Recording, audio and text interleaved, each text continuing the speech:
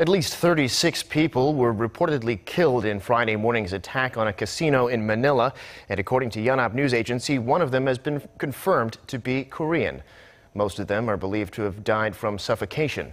Police have now retaken control of the entertainment complex after it was stormed by a lone gunman early Friday who burst into a casino in the Resorts World Manila, firing shots and setting gaming tables alight.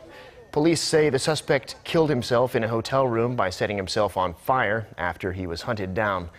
Although the so-called Islamic State was quick to claim responsibility for the attack, the Philippines police chief said he believed it was not terror-related, but may have been a robbery, as casino chips were found in the suspect's bag. He added that gunshots were fired, but not aimed at people.